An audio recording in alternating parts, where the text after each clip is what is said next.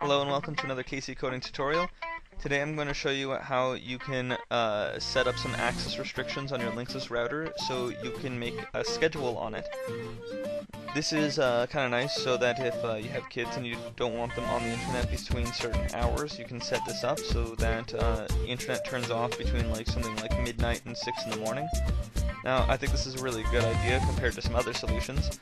Uh, personally, I've seen parents take their routers, make a big wooden box around it with a lock on it, then inside the box had a power cord with a um, timer on it, and then plug their router into that, just so that their kids couldn't have access to the internet after midnight. That's a whole lot of work, and this is a whole lot easier.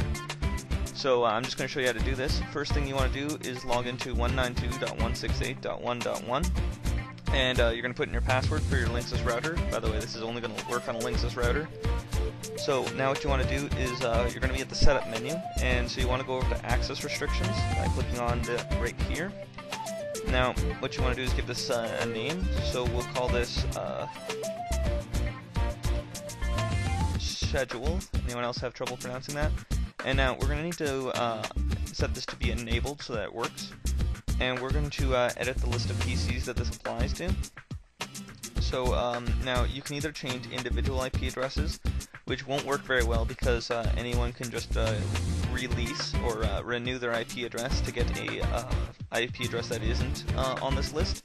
So uh, one thing you can do is if you know how to, you can get the MAC address of that PC because MAC addresses are hard-coded and can't be changed.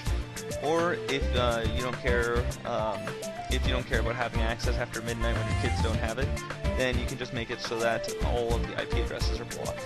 So I'm just going to set that up. So what you want to do is uh, under IP address range, you want to go from um, number 2 all the way to 254. Now that'll block all the available IP addresses because your, your IP addresses can only go from 2 to 254. So you're going to click Save Settings, and then you're going to close this window.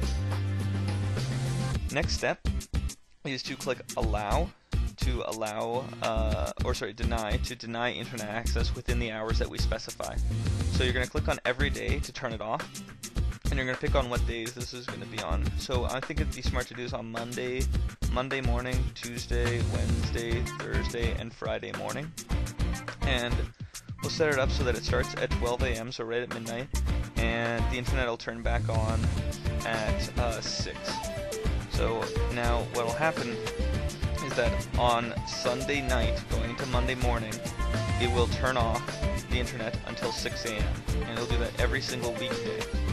Now, you might want, no, you know, we'll, we'll take off Friday so that they can do stuff on Friday. Or, no, no, let's just leave it. So anyways, now uh, what you want to do in the end is you want to go to uh, Save Settings, and click Continue. Now uh, you just want to go through and check and make sure all the settings are the same. You want to make sure that you have the name still there, that it's enabled. You want to check the uh, check the IP address settings that you set up check that the hours that you put in are still the same, and if they're all the same, you should be good to go. So uh, now, if it's between this range of time, then uh, you're, you won't be able to access the internet on any of the machines connected to this network. So uh, hopefully that works for you, and um, this has been Casey for KC Coding, and I'm logging off.